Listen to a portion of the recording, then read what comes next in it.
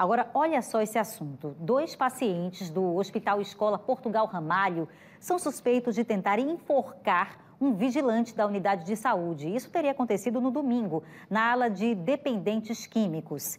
O repórter Alan Garcia tem agora mais informações sobre esse caso ao vivo. Como é que isso teria ocorrido lá dentro do hospital psiquiátrico? Alan.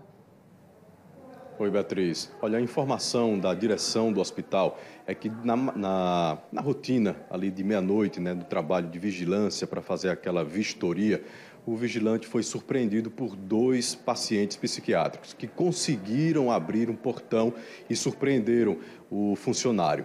Eles estavam já com um lençol né, e tentaram enforcar este vigilante pela gritaria, outros funcionários do hospital conseguiram chegar a tempo na, no local em que esse vigilante foi surpreendido e conseguiram salvar o colega de trabalho. Os, os, dois pacientes são da ala masculina de dependentes químicos. Agora vai ter uma, uma vistoria e uma, uma investigação interna por parte da direção do hospital, que também não quis adiantar muito o que já foi captado no início dessa investigação.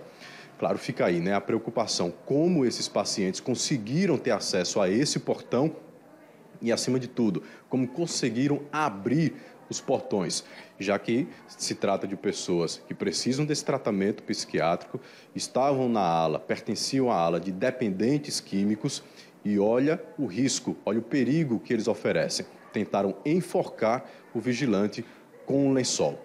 A gente aguarda, claro, o posicionamento do hospital, dando mais esclarecimentos, mais explicações dentro dessa investigação, que por enquanto acontece de forma sigilosa, sem trazer nenhuma informação que a gente possa divulgar. Eu volto com você.